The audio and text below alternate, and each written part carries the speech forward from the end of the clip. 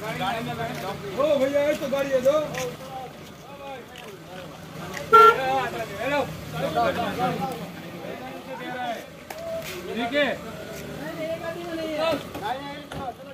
আপনারা দেখছেন বাস্তব উপস্থাপন আমি রাজীব আসাম মেঘালয় সীমান্তে গুলিকাণ্ডের ঘটনায় পরিস্থিতি শান্ত হয়নি এখনো গুলিকাণ্ডের ঘটনাকে কেন্দ্র করে বন্ধ রয়েছে মেঘালয়ের সহিত সংযোগী সবগুলো সড়ক মেঘালয় হয়ে রাজ্য ও বহির্রাজ্যে যাতায়াতকারী বরাক উপত্যকা সহ পার্শ্ববর্তী রাজ্য মিজোরাম, মণিপুর ও ত্রিপুরার শত শত লরি আটকা পড়ে রয়েছে আসাম মেঘালয় সীমান্তে।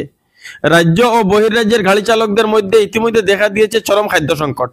শিলচর ট্রাক চালক অ্যাসোসিয়েশনের উদ্যোগে সীমান্তে কয়েকদিন থেকে আটকে থাকা অন্তত পাঁচ শতাধিক ট্রাক চালকের হাতে তুলে দেওয়া হয়েছে খাদ্য সামগ্রী। ট্রাক চালক অ্যাসোসিয়েশনের কর্মকর্তারা চাল, ডাল, লবণ, তেল, পেঁয়াজ সহ অন্যান্য খাদ্য সামগ্রী তুলে দেন আটকা পড়া ট্রাক চালকদের হাতে। আজকে শিলচর ট্রাক ড্রাইভার অ্যাসোসিয়েশনের পক্ষ থেকে আমরা যে কাটিগোড়ায় যে ব্লকের ড্রাইভারগুলো আছে, এখানে আমরা কিছু সামগ্রী চাউল ডাল, তেল, পেঁয়াজ লবণ এগুলা পাঁচশো ড্রাইভারকে পার গাড়ি আমরা দেওয়া দিব। শিলচর ট্রাক ড্রাইভার অ্যাসোসিয়েশনের পক্ষ থেকে।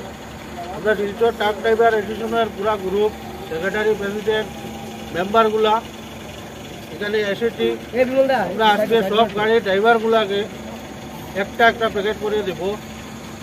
আমরা সরকার থেকে না এটা আমরা পাউন্ডার থেকে দিয়েছি।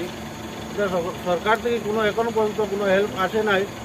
আমরা শিলচর ট্রাক ড্রাইভার অ্যাসোসিয়েশনের যে পাউন্ড আছে কালেকশন হয় আমরা বিশ টাকা করে।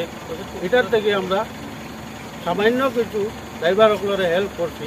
সব বাইরা ওয়েস্ট বেঙ্গল ইউপি ত্রিপুরা। হ্যাঁ ত্রিপুরা হ্যাঁ।